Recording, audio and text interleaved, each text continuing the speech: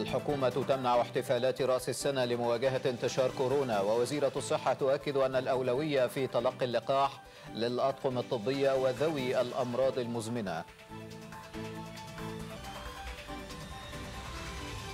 شركة إيني الإيطالية تعلن عن كشف نفطي جديد في امتياز مليحة في الصحراء الغربية بمصر.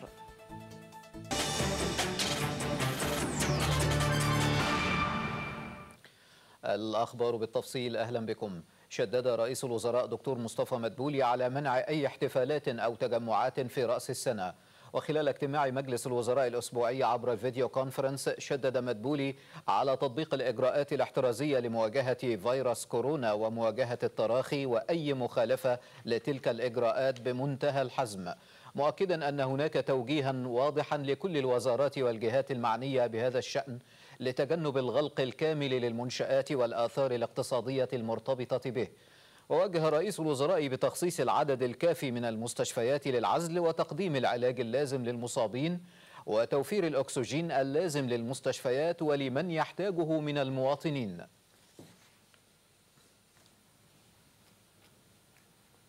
أعلنت وزيرة الصحة والسكان الدكتورة هالة زايد تسجيل 911 حالة إصابة جديدة بفيروس كورونا اليوم و42 حالة وفاة. وخلال مؤتمر صحفي لاستعراض آخر مستجدات فيروس كورونا والجديد في ملفات اللقاحات أعلنت زايد أن شهور ديسمبر ويناير وفبراير هي الأكثر تصاعدا في منحنى الإصابات والوفيات بفيروس كورونا. طبعا زي ما امبارح اتكلمنا على إصابات 788 حالة إصابة و37 حالة وفاة إحنا النهاردة بنتكلم على 911 حالة إصابة وحوالي 42 حالة وفاة آه وده في زيادة طبعا آه يعني هنتكلم فيها إيه أكتر الأماكن في مصر اللي فيها هذه الزيادات المتسارعة. طبعا إجمالي الإصابات في مصر حوالي 127 ألف إصابة وحوالي 7000 حالة وفاة على مدى أكتر من آه 10 شهور ونص ابتداء من ظهور أول حالة. زي ما إحنا شايفين المنحنى بدأ يتصاعد ابتداء من يعني أواخر أو 31 أكتوبر بالتحديد تصاعد تدريجي ولكن الأسبوع ده يمكن يكون أكثر تصاعد من الريتم اللي فات. أكثر المحافظات إصابة هي محافظة القاهرة ويعني هنا تبدو الإشارة أن محافظة القاهرة من أول حتى في الموجة الأولى كانت هي أكثر الأماكن إصابة. يليها محافظات اسكندرية والقليوبية والجيزة فإحنا بنتكلم على القاهرة الكبرى واسكندرية إن هم أكثر المحافظات إصابة. وفيما يتعلق بالسلالة الجديدة لفيروس كورونا والتي ظهرت في بريطانيا مؤخرا أشارت وزيرة الصحة دكتورة هالة زايد إلى أن جميع العلماء أكدوا عدم تأثير سلالة كورونا الجديدة على اللقاحات. كما أكدت أن لقاحات فيروس كورونا تختلف فعاليتها وفقا لآلية عملها مشيرة إلى أنه تم إجراء ست تجارب على لقاح ساينوفارم واعتمدته دولة الإمارات والبحرين والصين. موقف اللقاحات حتى الآن في العالم في تم إجراء ست تجارب على لقاح ساينوفارم واعتمدته ثلاث دول الإمارات والبحرين والصين. منهم الإمارات والبحرين اعتمدوه مش اعتماد طارئ لا الاعتماد النهائي يعني بقى متاح للجميع أو بدون يعني يعني يعني خد معايير الأمان الكاملة في التلقيح. والصين قربت برضو تصل للموافقة النهائية مش موافقة طوارئ لقاح فايزر اتعمل عليه سبع تجارب في سبع دول وتم اعتماده في خمس دول. عشر تجارب في اللقاح الروسي واعتمد في دولة واحدة. وموديرنا تم عمل خمس تجارب واعتمدته جهة واحدة وهي الولايات المتحدة الأمريكية. وطبعا ده آلية عمل اللقاحات وإزاي ال spike protein اللي هو الجزء البارز من الفيروس بتطلع الأجسام المضادة وإزاي بيتعرف عليها وإزاي بيحصل تفاعل الجهاز المناعي. والجزء البارز هو ده ال spike protein اللي فيه آلاف وملايين من ترتيب البروتينات بشكل معين وده اللي حصل فيه التغير البسيط اللي حصل. وده تاني بنقول حتى هذه اللحظة لا يؤثر على فعالية كل اللقاحات اللي تم إنتاجها في الفترة اللي فاتت. كذلك أشارت وزيرة الصحة إلى أنه تم إعداد منظومة تسجيل لتلقي لقاح كورونا مشيرة إلى أن الأولوية ستكون للأطقم الطبية والأطقم المساعدة وبالتوازي المرضى الأكثر عرضة للخطر خاصة كبار السن وأصحاب الأمراض المزمنة. اللقاح في العالم مش بس في مصر هيتم أماكن تصنيعه شركات محددة جهات محددة بتتيحها للعالم حسب الأولويات. وإحنا استلمنا أول جرعة.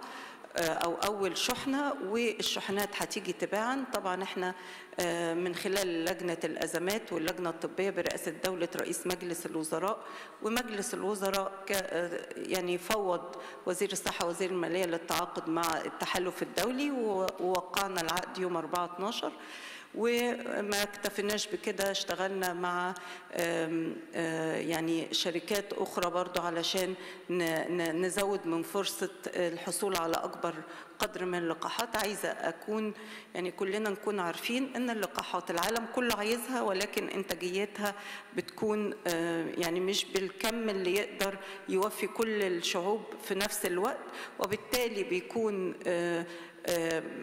في أولويات في الشحنات وفي الكميات. وطبعا كلنا عارفين في أولويات حطتها منظمه الصحه العالمية وتوافق مع عليها المجتمع الطبي للجهات أو الناس اللي لها أولوية في اللقاحات. أكد وزير الأوقاف محمد مختار جمعة أنه في ظل تصاعد انتشار فيروس كورونا وتحوره عالميا وفي ظل الآثار الصحية السلبية الشديدة المترتبة على الإصابة بهذا الفيروس فإن الالتزام بالإجراءات الوقائية التي حددتها الجهات الصحية المختصة والالتزام بالتباعد الاجتماعي مطلب شرعي ووطني وإنساني. وبما أن مخالفة هذه الإجراءات قد تتسبب في أذى النفس أو أذى الآخرين والإضرار بالمجتمع وبالصالح العام فإن عدم الالتزام بالإجراءات الاحترازية والوقائية إثم ومعصية. وفوض وزير الأوقاف مديري المديريات باتخاذ إجراءات غلق أي مسجد لا يلتزم رواده بالإجراءات كما أكد أنه لا حرج على من صلى في بيته في ظل هذه الظروف الراهنة قصد الوقاية لنفسه ولغيره.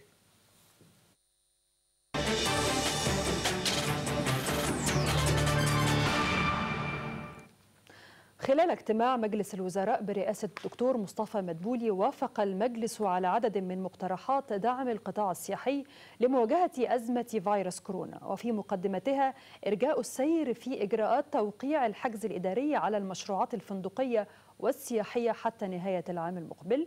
وأيضا إعفاء المنشآت الفندقية والسياحية من سداد الضريبة العقارية اعتبارا من الأول من يناير حتى الثلاثين من إبريل المقبل. وأيضا جدولة بعض المديونات والمستحقات على المنشآت الفندقية والسياحية لمدة 36 شهرا وأخيرا إرجاء بعض الرسوم الحكومية الخاصة بالمراسي النيلية وإرجاء سداد نسبة 60% من المستحقات نظير الاستهلاك الشهري للكهرباء والغاز والمياه للمنشآت الفندقية بالجمهورية والمنشآت السياحية بالمحافظات السياحية على أن تطبق نفس القرارات على شركات الطيران. من جانبه استعرض وزير الاتصالات تقريرا حول مشروع منصة مصر الرقمية التي تم إطلاقها لإتاحة الخدمات الحكومية للمواطنين إلكترونيا دون تدخل بشري. فضلا عن الحصول على الخدمات بسهولة ويسر وتوفير منظومة دفع مؤمنة وإتاحة التوصيل عبر البريد وكذلك الاستفادة من تعدد منافذ الخدمة لتناسب كافة أطياف المواطنين وتضمن الإطلاق الأول للمنصة 34 خدمة في قطاعات التوثيق والتموين والمرور والمحاكم. هذا وقد وافق مجلس الوزراء على طلب الهيئة العامة للاستثمار والمناطق الحرة بشأن إرجاء تطبيق نسبة الخمسة عشر في المئة الزيادة والمقررة لمقابل الانتفاع على المشروعات العاملة بالمناطق الحرة لمدة عام. كما شهد رئيس الوزراء دكتور مصطفى مدبولي مراسم توقيع بروتوكول تعاون بين جهاز تنمية التجارة الداخلية وصندوق مصر السيادي للاستثمار والتنمية بشأن وضع إطار تعاوني مع الصندوق لتشجيع القطاع الخاص على المشاركة في الفرص الاستثمارية المقدمة من قبل جهاز تنمية التجارة الداخلية من خلال شراكات استراتيجية تسهم في تقديم فرص تمويلية للمستثمرين. ترأس الدكتور مصطفى مدبولي رئيس مجلس الوزراء اجتماعا لمتابعة استعداد تنفيذ المرحلة الجديدة من تطوير قرى الريف المصري في إطار المبادرة الرئاسية حياة كريمة حيث استعرض نموذجين للاحتياجات التنموية وخطة مشروعات البنية الأساسية والخدمات الاجتماعية بمركزي ساحل سليم بمحافظة أسيوط وأبو قرقاص بمحافظة المنيا وذلك تمهيدا لإطلاق تنفيذ المشروع بحلول مطلع عام 2000 21 وقد أكد رئيس الوزراء على ضرورة التنسيق المستمر بين كافة الجهات المعنية لتنفيذ المشروعات التي تم التوافق عليها في نحو 50 مركزا سيتم العمل بها. ويبلغ عدد قرى قراها وتوابعها نحو 1385 وهو ما يمثل ثلث الريف المصري.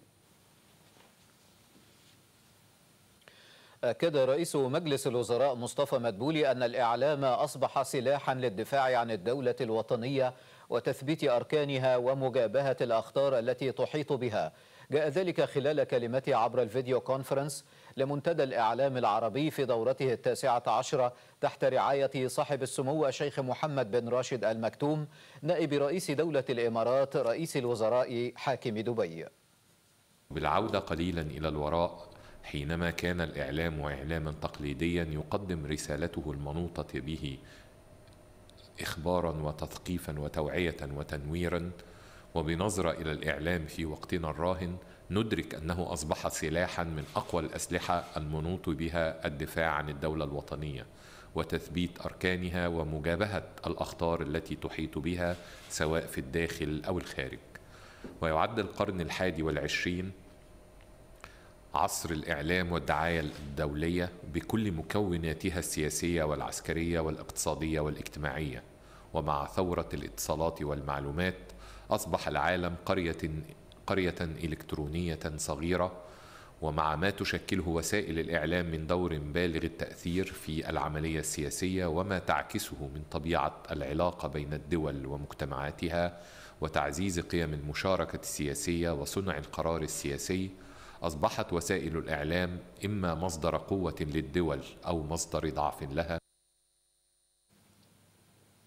كما أكد رئيس مجلس الوزراء الدكتور مصطفى مدبولي أن الدولة حققت نجاحات عديدة في ملف الإرهاب مشيدا بدور وسائل الإعلام المهنية في توضيح الحقائق وكشف الوجه الحقيقي للإرهاب وأيضا إظهاره للمجتمع الدولي.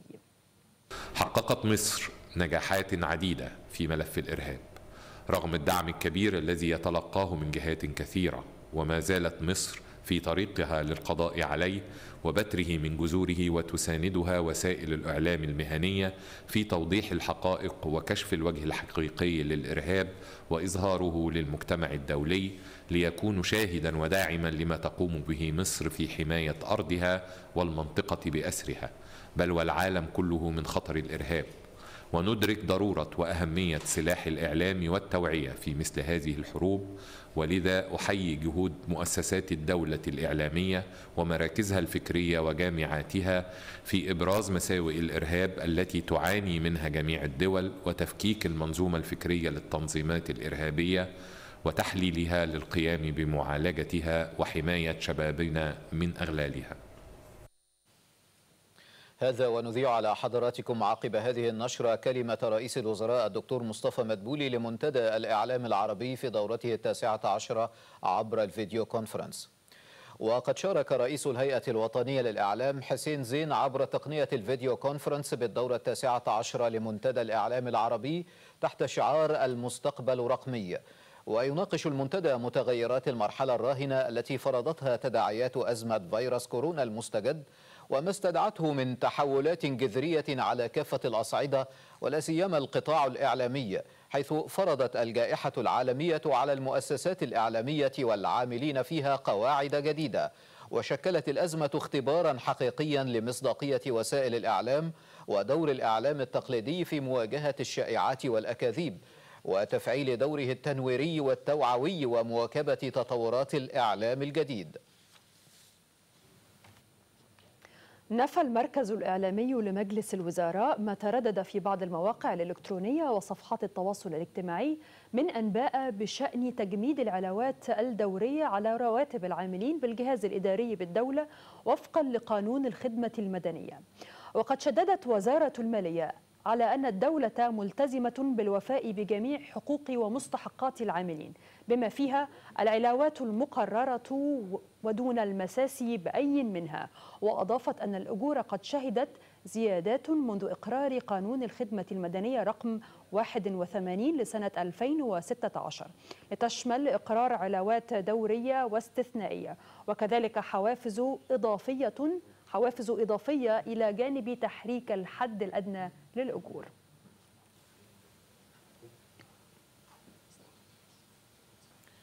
أعلنت شركة إيني الإيطالية عن اكتشاف نفطي جديد في امتياز مليحة بصحراء مصر الغربية. وأوضحت الشركة أن الاكتشاف الجديد يضيف عشرة آلاف برميل يوميا من النفط إلى إنتاج الامتياز الحالي. ولفتت إلى أنه تم حفر الآبار الثلاثة الجديدة بالقرب من منشآت الإنتاج الحالية حيث تقع على بعد واحد ونصف كيلو متر من حقل أركاديا.